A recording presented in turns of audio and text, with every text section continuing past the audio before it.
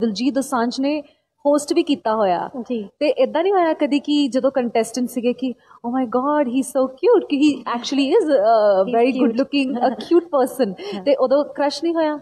ਸੀਗਾ ਔਰ ਮੇਰੇ ਘਰੇ ਵੀ ਪਤਾ ਹੈ ਮੇਰੇ ਮੈਂ ਮਤਲਬ ਮੈਂ ਕ੍ਰਸ਼ ਵੀ ਕਹਿ ਸਕਦੇ ਆ ਮੈਂ ਉਹਨਾਂ ਨੂੰ ਬਹੁਤ ਐਡਮਾਇਰ ਕਰਦੀ ਹਾਂ। ਆ ਜਿਸ ਹਿਸਾਬ ਨਾਲ ਉਹ ਇੰਨੇ ਜ਼ਿਆਦਾ ਕੰਸਿਸਟੈਂਟ ਰਹੇ ਆ ਮੈਨੂੰ ਲੱਗਦਾ ਕਿ ਫੇਮਸ ਹੋਣਾ ਸਟਾਰ ਬਣਨਾ ਬਹੁਤ ਈਜ਼ੀ ਆ ਅੱਜ ਕੱਲ ਹੂੰ।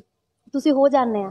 ਲੇਕਿਨ ਉਹਨੂੰ ਕਿੰਨਾ ਟਾਈਮ ਤੁਸੀਂ ਕੰਸਿਸਟੈਂਟ ਰਹਿੰਦੇ ਆ ਔਰ ਇੰਨੇ ਸਾਲ ਲਗਾਤਾਰ ਤੁਸੀਂ ਹਿੱਟ ਰਹਿ ਰਹੇ ਹੋ ਉਹਦੇ ਪਿੱਛੇ ਇੰਨਾ ਕਿੰਨਾ ਜ਼ਿਆਦਾ.